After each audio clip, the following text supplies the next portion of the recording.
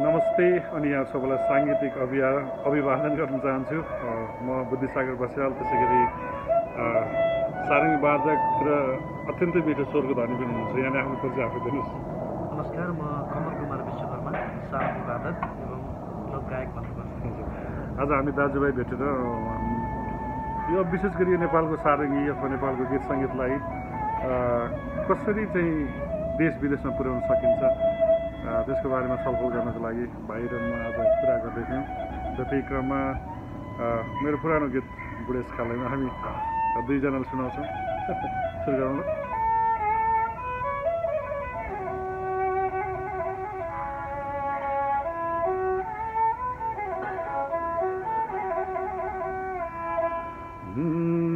नसकिन्छ गरी खान नसकिन्छ मरि जान बुढेसकालैमा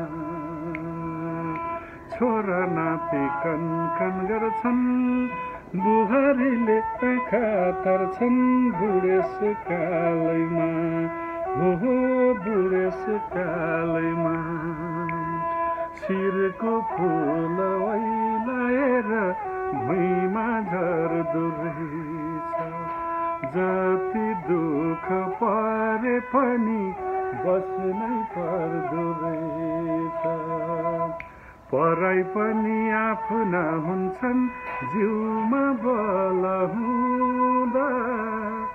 कठै भने कोही हुन्न नसकेर रुँदा हो बुढेसकालैमा। नसकिन्छ गरी खान नसकिन्छ मरि जान बुढेसकालैमा ओहो बुढेसकालैमा आँखा कमजोर हुँदै गयो सुन्न छोडी कान। रोगी शरीर भयो हजुर केही हुँदैन खान। आँखा कमजोर हुँदै गयो सुन्न छोडी रोगी शरीर भयो हजुर केही हुँदैन उठ्न पनि सक्न छोडी कसले देला पानी? यस्तो भई बाँच्नु पर्ने कस्तो जिन्दगानी हो? बुढेसकालैमा नसकिन्छ गरी खान नसकिन्छ मरि जान बुढेसकालैमा हो हो बुढेसकालैमा हो हो बुढेसकालैमा यदि तपाईँहरूको पनि आमा बुवा हजुरबा हजुरआमा वृद्ध हुनुहुन्छ भने माया गर्नुहोला सम्मान गर्नुहोला पाल्नुहोला वृद्धाश्रममा नछोड्नुहोला भन्दै हामी दुईजना।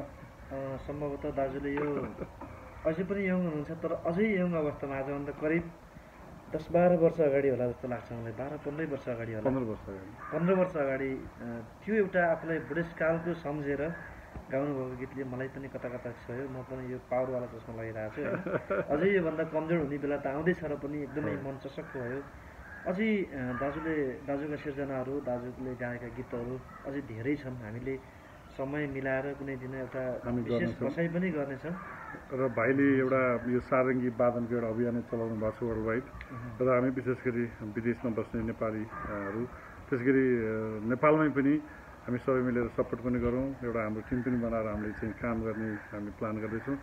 भाइलाई यहाँसम्म आउनुभयो धेरै धेरै धन्यवाद छ थ्याङ्क यू दाई हजुरसँग भेट्न पाउनु। मेरो लागि पनि एकदमै खुसीको कुरा हो। थ्याङ्क यू भेरी मच जहाँ हुनुहुन्छ जसरी हुनुहुन्छ नेपाली लोकगीत सङ्गीत माया गर्नलाई यति यति राम्रो छ नेपाली गीत सङ्गीत। अब यो विश्वमा नेपाली लोक सङ्गीत पुग्नेछ भन्दै म पनि बिदा हुन्छु। खास हामी आज भेटघाटको क्रममा यो फोनले खिचेको छौँ यो भिडियो यो सेकी पनि हुनसक्छ अडियो डिस्टर्ब पनि हुनसक्छ।